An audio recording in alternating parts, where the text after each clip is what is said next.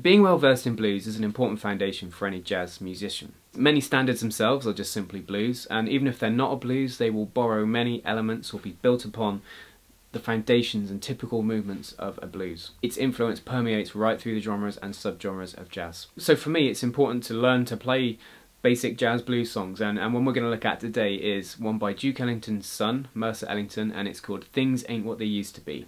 One could say a song for these times at the minute. Now, if you've listened to several versions of this tune, you'll hear that there's lots of variations in the way people like to play the chords. So I'll go through each line with possible variations and typical things people like to do, so you can sort of pick your own way of doing it if you like. Now the charts you'll see on the screen are available for free download from my website under the standards section at jazzguitarwithandy.com. Now it's more typical when you learn a jazz blues song to find that it's it's not really got a standard key as such, it can be played in, in many different keys. Uh, we're going to look at it in the key of F, but you will also find it in the key of D flat and B flat quite often as well. So version 1 is a very plain way of playing it, very vanilla, but uh, people do play it this way. We're in the key of F and the chords you're going to need, chord 1, F7, chord 4, B flat 7, chord 2, G minor 7, chord 5, C7. Very simple, it's going to be like this, 1, 2, 3, 4, F7, 4 bars, B flat 7, 2 bars, F7, 2 bars, 1 bar G minor 7, C7, F7, C7, finish on F. Obviously other places you can play those chords, but just that would be a simple way to play it. What I thought would be useful to go through is variations, because you listen to three different versions of it, you'll hear three different ways to play the chords. Now, in the first line of the blues, one way you can make it a bit more interesting is hold off on a dominant seventh until bar 4. So I'm going to use this chord, F69, which is a very sweet sounding chord, uh, and then not change to a dominant seventh till bar 4. So it'd be bars 1 to 4 become this, 1, 2, 3, 4. Three bars of this. Then for movement, F7, then to the B flat 7. What that gives us is that in that bar 4 it just goes, oh, okay, the tension increases, we go to the 4 chord B flat, so it just creates a nice movement. Variation 2 would be to not have four bars of F, but to go to the B flat in bar 2, which you often get in a blues, so like the 1-4-1 progression. So like this, 1, 2, 3, 4. So F7, B flat 7, back to F7 for two bars. So you'll hear that in some versions. And a variation upon that is to put in a couple passing chords. Now, before we change to the B flat 7, let's stick in a B7 on beat 4 of bar 1 so putting that B7 in before the B flat 7 would be 1, 2, 3 here, then the B flat, and then we're going to put in a B diminished, going back to the F7. So we've got a bit more movement going on there, so like this. A 1, 2, 3, 4.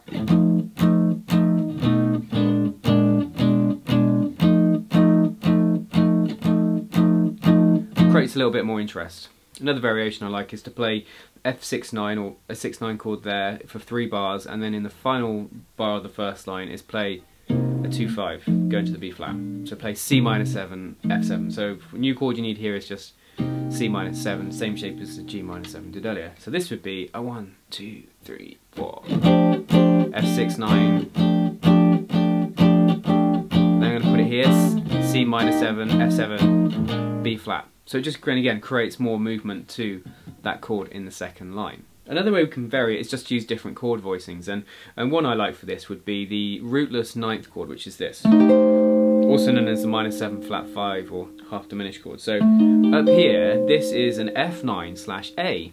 A, E flat, G, C, third, 7, 9, 5. And then we've got B flats 9 slash D here.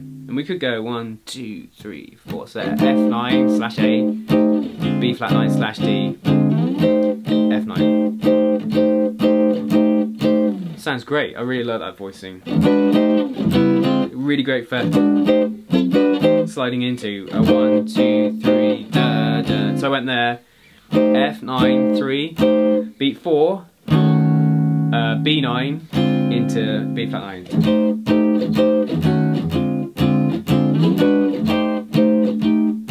And I can combine all of those different ideas. Those just for the first four bars, you could mix and match them as you like. But we went from just going four bars of F7 to a couple variations just for that first line. Now let's look at the second line. So the second line, or bars 5 to 8, on the basic chart is B flat 7 for two bars to F7.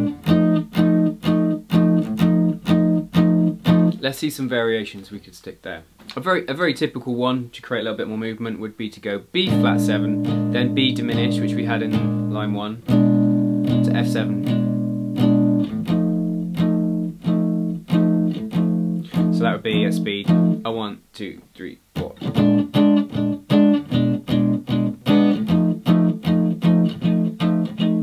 Again, creates a nice little movement. This next one I really like, so it builds upon that first one, but instead of two bars of F7 at the end, we're going to go to D7 here.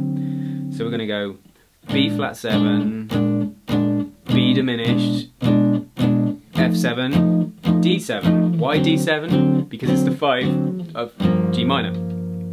So that would go B flat, B diminished, F, D7 into the G. Add another chord into that one. We could, when we go to the D7, we could play the two of it. If it's a 5 chord and it's the 5 of G minor, we could play A minor 7 to D7. So we could go B flat 7, B diminished, bar of F, then A minor 7, D7, which take us to that. That some people could could also make that half, you know, A minor 7 flat 5 instead of A minor 7, like uh, B flat 7, B diminished, Then here you go. Yeah, you could use either, either would work. Another little movement I might use sometimes on that line would be B flat, 7, B diminished, then descending F, E7, E flat 7, D7. So it's just using the same shape going F, 7, E7, E flat 7, G, D7 into the G minor 7. So some nice options there for the second line bars 5 to 8. What about variations for the final line, so bars 9 to 12? Now on the, the first chart, the basic way, we went G minor 7, C7, F7, back to C7 fine, but there's a lot more we can do there. Let's try this. The most common thing really is to put a bit more of a turnaround on the last two bars. So we could go G minor 7, C7, then what about this? F7, D7, G minor 7, C7. That very common way to end a blues progression before you go back to the start again. Um, what we're doing is just F7, the D7 is the 5 of 2, the G minor 7, the C7 sends us back to start on an F. Now, one of the confusing things I often used to really bug me is sometimes you'll see people use G7, not G minor 7, and it kind of feels like it's interchangeable. So sometimes someone might play that G minor 7, C7, and then go F7, D7, G7, C7, rather than G minor 7. Um, here it is with a minor chord. Here now, here it is with a dominant chord.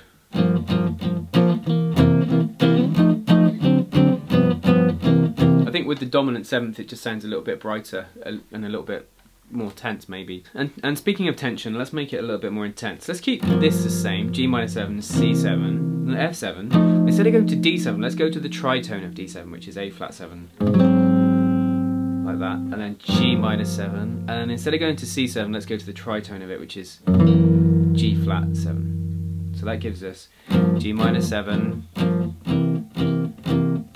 F7, a flat 7, G minus 7, G flat 7, which is the semitone above the chord we start on, F. So there's a nice da da, and you get the da da da da going down there. A flat, G, G flat, F7. So that's.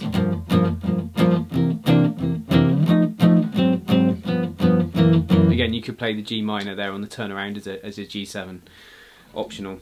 Um, my final line just has some chromatic sort of lead into the chord. So we go G minor 7, C7, and then go F, E flat, D flat, A flat minor, G minor, D flat 7, C7, G flat 7, F. So there's a lot of tritones, but at speed that would be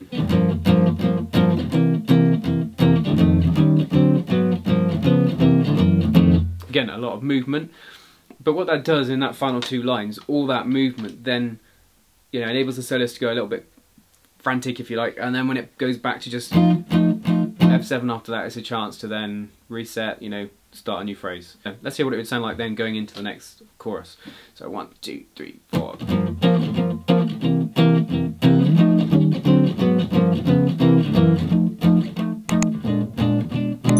think that really works. Um, it might be a bit busy sometimes and you've got to maybe agree things with the bass player, otherwise it might get a little bit interesting, but uh, sort of things you can do, chromatic approaches, so F7, to, instead of going to straight to D7 I went E flat, D7, so da da, chromatically approach it. Instead of going straight to G minor I went A flat minor, G minor. Instead of going straight to C7 I went D flat 7, C7, and tritone, G flat 7, F7. So there's some typical variations that you might encounter when listening to this tune or looking at charts of it. Now this is just a major blues, you also want to be well versed in how to play over a minor blues and play the chords to it, so if that's something you've not done yet, then be sure to check out my video on Mr. PC, a minor blues in C minor. If you want to learn more about Things Ain't What They Used to Be, then my next upload will be a look at Ed Bickert's solo on the Benny Carter recording of this tune, so be sure to check that out when I release it next time. If you've gained value out of today's lesson, then please hit the like button. Any questions, leave me a comment. And if you're new here, my name's Andy. Be sure to subscribe for jazz guitar lessons every Wednesday and Saturday. See you next time.